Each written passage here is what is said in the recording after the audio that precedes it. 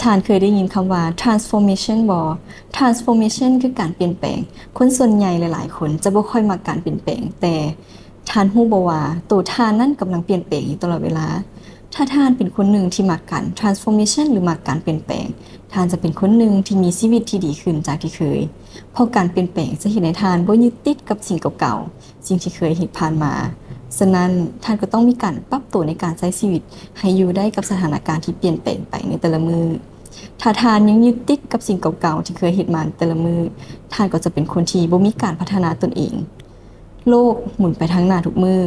ทุกอย่างมีการเปลี่ยนแปลงหลายขึ้นท่านจะรู้สึกบ่ดีกับคนอ้อมข้างรู้สึกบ่ดีกับตนเอง เพราะท่านนั้นบ่มักการเปลี่ยนแปลงที่เกิดขึ้น ในโลกนี้มีการเปลี่ยนแปลงอยู่ทุกๆมือโลกบ่ได้บังคับให้ท่านต้องเปลี่ยนแปลงตนเอง ແຕ່ ຖ້າທ່ານບໍ່ຮູ້ຈັກປັບຕົວແລະພັດທະນາ ທ່ານກໍຈະບໍ່ສາມາດໃຊ້ຊີວິດຢູ່ໃນໂລກນີ້ໄດ້ ຖ້າເວົ້າເຖິງໂລກມັນອາດຈະກວ້າງເກີນໄປສຳລັບພາບໃນຫົວບາງຄົນຂໍຍົກຕົວຢ່າງງ່າຍໆກໍຄື ຖ້າທ່ານເຮັດວຽກຢູ່ໂຮງການແຫ່ງໜຶ່ງເຊິ່ງໝູ່ຮ່ວມງານຂອງທ່ານ ມັກຈະຮຽນຮູ້ສິ່ງໃໝ່ໆຢູ່ຕະຫຼອດເວລາທີ່ໃຫ້ຄົນນັ້ນມີທັກສະຫຼືມີ skill ໃນການເຮັດວຽກທີ່ກ້າວກະໂດດ ແລະໂດດເດັ່ນກວ່າຄົນອື່ນ ແຕ່ກົງກັນຂ້າມກັບຜູ້ທີ່ບໍ່ມັກຮຽນຮູ້ທັກສະໃໝ່ๆ จะเฮ็ดแต่สิ่งเก่าๆเดิมๆอยู่ตลอดเวลา จะเห็นได้ว่าคนผู้นั้นบ่ว่าเวลาจะผ่านไปโดนส่ำใดก็จะยังอยู่บอนเก่าอยู่จุดเก่า สาเหตุหลักๆแมนย้อนหัวหน้าบ่มีความไว้วางใจ ให้ผู้ที่บ่มีทักษะมารับผิดชอบเวียกใหญ่ๆหรือเป็นผู้นำทีมได้เนื่องจากการจะเป็นผู้นำทีมได้ต้องได้ใช้ทักษะหลาย ๆ อย่าง รวมไปถึงการมักเรียนรู้ จะได้นำทีมไปสู่ความสำเร็จ แต่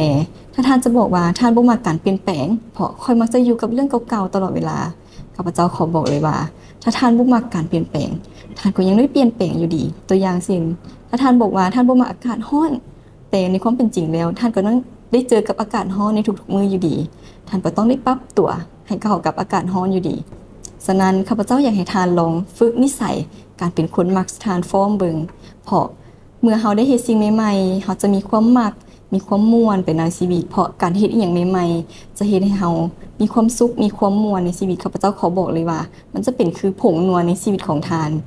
และข้าพเจ้าอยากบอกอีกอย่างหนึ่งว่าโลกใบนี้จังไดมันก็มีการเปลี่ยนแปลงอยู่ตลอดเวลา เพราะฉะนั้นตัวทานเองก็ต้องมีการ transform อยู่ตลอดเวลา ไผ่ที่กำลังยึดติดกับเรื่องเก่าๆอยู่ ก็จงเกี่ยมตัวเกี่ยมใจ ที่จะพบกับการเปลี่ยนแปลง พบกับสิ่งใหม่ๆและจงรับมือกับมันให้ได้สุดท้ายนี้ข้าพเจ้าขอให้ทาน มีความสุขในการใช้ชีวิต มีความสุขกับการเปลี่ยนแปลง และจงมวลสื่นไปกับมัน ขอขอบใจ